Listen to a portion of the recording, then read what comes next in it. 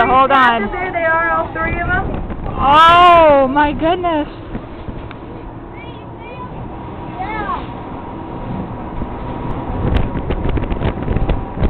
Oh, And there they are again in a small tight group. oh, Beautiful Archie. Oh. The fish at Woo. How beautiful. wow. And folks, I hope you have your cameras out. Doesn't get any better than that.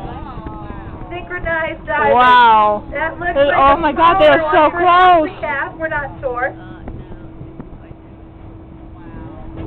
The younger calves don't always fluke when they dive. Their tail muscles aren't as strong, and they don't always hold their flukes up.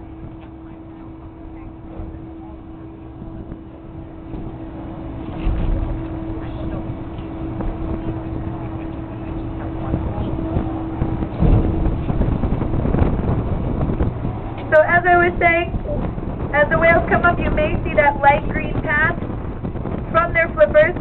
And as you know, they're not green. That just appears to be green from all the plankton in the water that just makes it look that way. It's a great way to find the animal underwater before they surface. Where'd they go?